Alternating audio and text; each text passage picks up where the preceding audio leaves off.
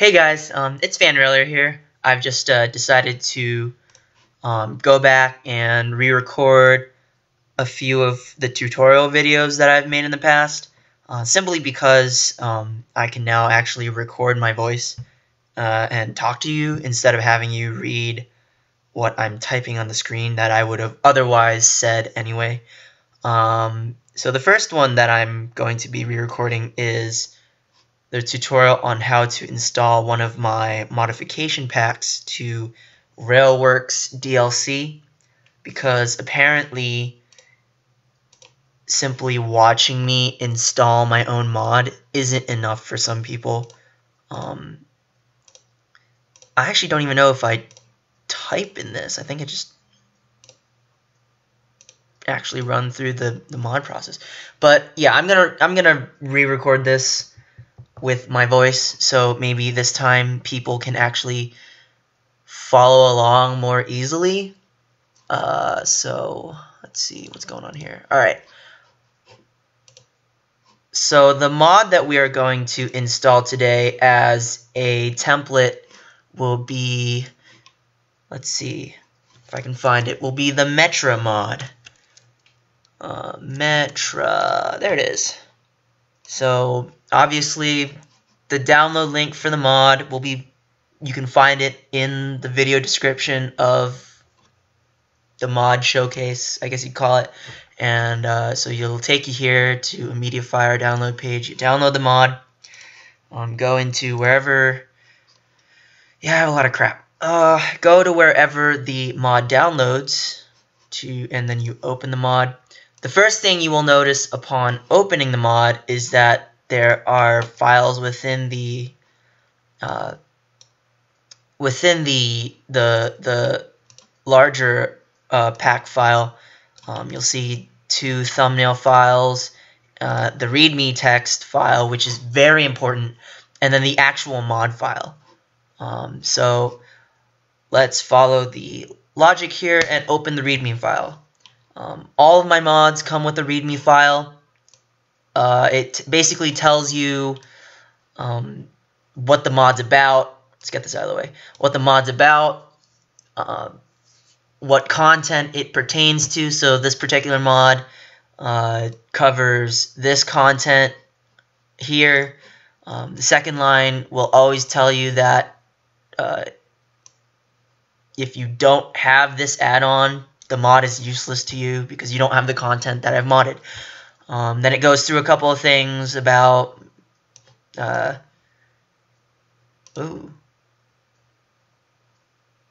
Yeah, I never noticed that. I'm missing something here. Sound, haha, lol.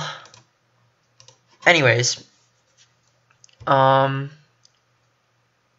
okay, so, yeah, so there's a couple things here that'll tell you what it, the mod pack is, what it's not, uh, that it's it's a freeware, you can't turn it around and sell it, whatever, blah blah blah, and then it goes on goes on to tell you exactly what I've changed, the values I've used, uh, whatnot, and then down here is probably one of the most important parts of the README file. This is these are the installation instructions because everyone seems to have some type of issue installing a mod pack from me. Uh, so we will go through these instructions really quickly. Hopefully by the end of this tutorial you will get a better understanding of exactly how to install one of my modification packs. Alright, so... Ooh. Yes, I wish to. I, I don't know why I did that. I'm going to re-upload this in a few minutes anyway. Okay, so the first step to installing any of my mods is to locate the directory in which the host DLC resides. So for the Metra mod, the specific directory is here. So we are going to do that. We're going to open that. So for the sake of people who don't have a shortcut on their desktop, I will go from scratch. Alright, so you open File Explorer, uh, pull up the instruct. I have too much crap open. Alright, so this tells you the directory where the DLC resides. So you have to go to your C drive. C drive. Alright. Program files x86. Steam. Steam apps, common. Alright, so we find, oops. I hate this thing sometimes. Steam. Steam apps. Common. Railworks. Alright, now you're in the Railworks folder. So, to find where the mod, not not the mod, to, to find where the DLC resides, you go to, you will go to the assets folder, right? So you find assets, open assets, you have a bunch of stuff here. Um, the Metra mod, not, okay, the Metra DLC resides in the Barnez folder, right? So you find that, you find Chicago. Okay, okay, normally, before we go any further, normally you will not see on your computer, unless you are a modder yourself, you will not see any of the files I have just highlighted these files that I've just highlighted will not be in this folder when you open it. The only three files you should see are these three files that I've highlighted. Those three are the files you will see in here when you open this folder. The only reason that these files are here on my computer is because I mod stuff and I have to pull these folders out of um, out of the AP files.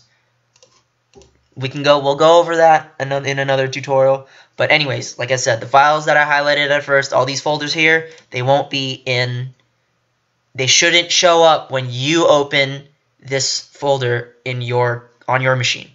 So anyways, now you are at the directory that is specified by step one. Okay, locate BNSF Chicago, blah, blah, blah. All right, good. Now, Step 2 says open the TS 2015 uh, Metra EMD F40 PH and Gallery Cab Car Physics Mod Pack .7z. So you go back to the main mod file that you downloaded, go in, look at the files in there. You will see this file that is specified in step 2 right here. It's highlighted. Now what you have to do is open it. All right, you open it. If uh, specifically if you have um, Oh, this is annoying. Alright, there we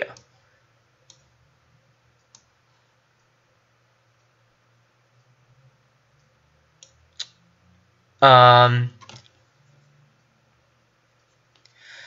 let's see.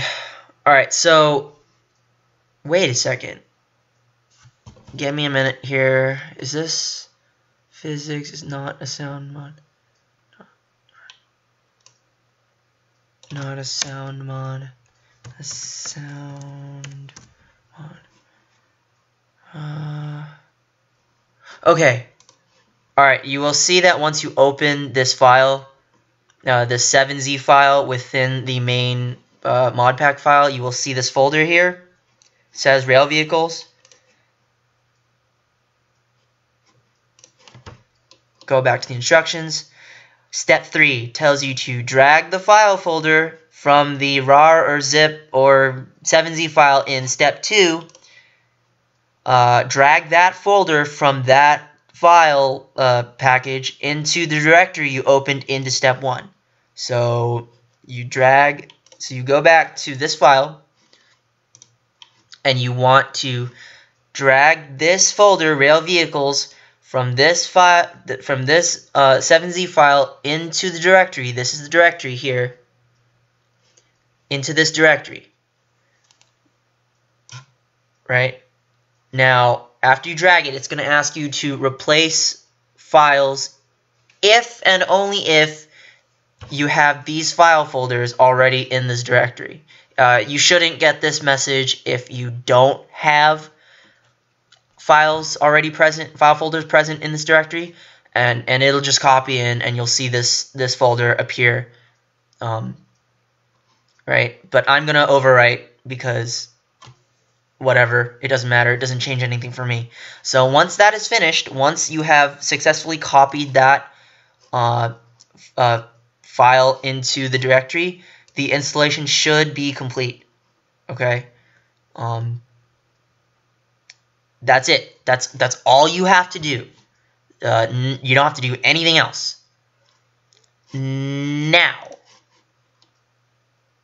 now, um,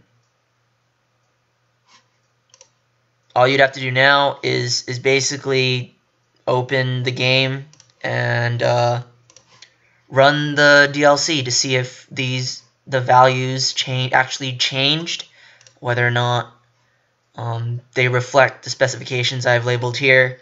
And if they have, then the installation was a success. You don't have to do anything else. Uh, yeah. And then if at any point you would want to uninstall or if the mod actually corrupts the DLC, all you would have to do is um, basically if you don't have any file folders in here other than uh, than the file folder you dragged out then all you'd have to do is delete this file folder right? Delete it and the only three files you would have in this directory again would be the three I've just highlighted.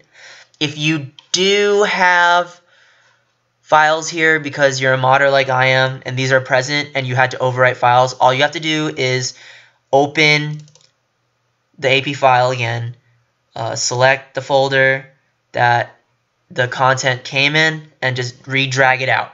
And that will overwrite the mod files and restore all of the uh, the script files and the the bin files to to their default settings uh, yeah, that's it. Um, this principle is the same for any and all modification packs that I release. These instructions might uh, contain different directories because uh, different DLC resides in different directories, but the steps are all the same.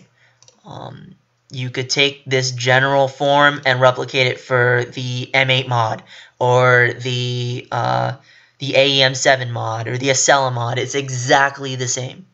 Uh, doesn't matter. This is actually I don't. All right. I don't know why I downloaded this because this is completely different.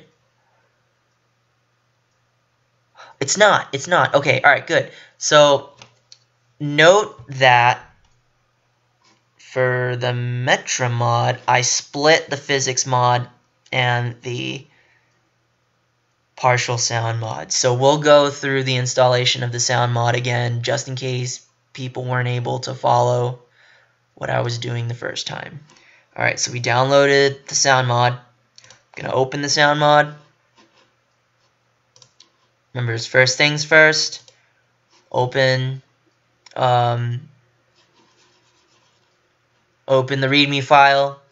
Tells you what I've changed, the sounds that have changed. Again, installation instructions. The, the steps are the same. Step 1, find the DLC directory. We already have it open, so I don't have to do anything. Step 2, okay, this, okay, I don't need that. Step 2, uh, step 2, open open the the pack file that is located in the larger pack file right? Open that. Step 3 drag the file folder from the pack file in, that you opened in step 2 into the directory from step 1 so drag the audio folder from this sound mod pack into the directory and over it says overwrite 12 files, overwrite 12 files. Now the installation should be complete. Run the game to check to make sure the sound's actually completed. Um, that's it. That's all you have to do. Um, if you guys have any questions, uh, feel free to post in the comments, but honestly, I think that's about as clear as I can get with the installation process. Um, if you're still having trouble, I don't know exactly how to help you at this point, uh, but I hope you don't. I hope that this has been clear enough and concise enough for you to be able to install one of my modification packs with minimal trouble. So, yeah. Um, thanks for tuning in, and until next time, see ya.